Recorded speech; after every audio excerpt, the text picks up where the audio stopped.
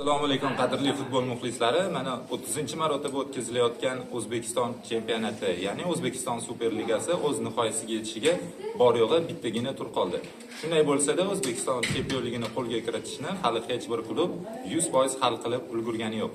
So'nggi masala esa so'nggi turga taqalib qolmoqda. Bu yil o'zbekiston superligasida g'oliblikni qo'lga kiritish uchun bir emas naq uchta klubda yaxshi imkoniyat bor. Bular paxtakor navbahor hamda nasaf jamoalari bo'lib turibdi. Ularning so'nggi turdagi natijalariga e, qaragan holatda chempionlik kimga nasib etishi hal bo'lishi mumkin.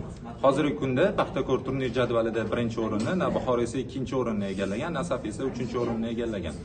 Lekin shunday bo'lsada paxtakorda ham navbahorda ham nasafda ham hattoki o'zbekiston superligasida g'olib bo'lish imkoniyati saqlanib qolmoqda. Sizningcha superligada bu yilgi mavsumda kim g'olib bo'ladi?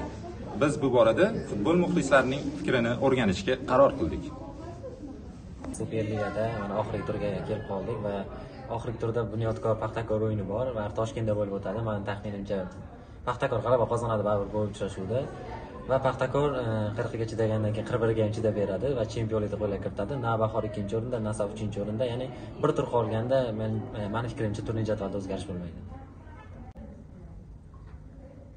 O'zbekiston superligasi so'nggi turga ham nihoyat yetib keldik va superligani so'nggi turga kelganda chempionatda birinchi o'rin toshkentning paxtakor jamoasi ikkinchi o'rinda esa namanganning navbahor jamoasi uchinchi o'rinda qashqadaryoning qarshining nasab jamoasi egallab turibdi. So'nggi turdagi raqiblardan kelib chiqadigan bo'lsak toshkent derbisiga guvoh bo'lamiz va osiyo chempionlar ligasi yo'llanmasini allaqachon qo'lga kiritib bo'lgan agmk futbol klubi namanganda markaziy stadionda navbahorga qarshi kurash olib boradi. So'nggi turda paxtakorning ochko yo'qotishini va navbahorning yigirma olti yillik tanaffusdan so'ng chempion bo'lishini taxmin qilmoqdaman va chempionlik paradi kubok ko'tarilishi namanganda bo'lishiga ishonaman.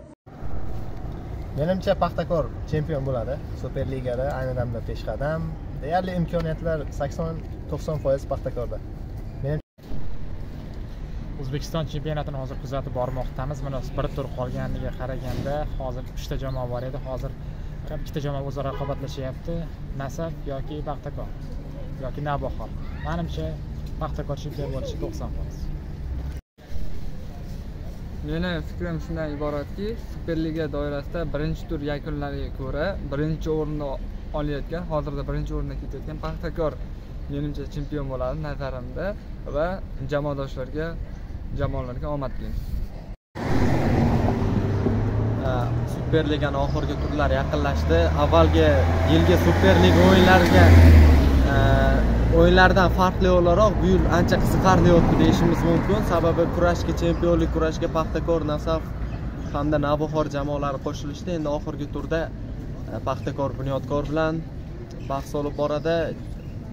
Manimcha bu yil katta ehtimol bilan agarda e, endi to'g'ri barcha jamoalar navbahor jamoasi ham e, nasaf jamoasi ham уже xalqi bo'ldi liga chempionlikni endi chempionlik kurashi agarda paxtakor manimcha bu yil navbahor chempion bo'ladi.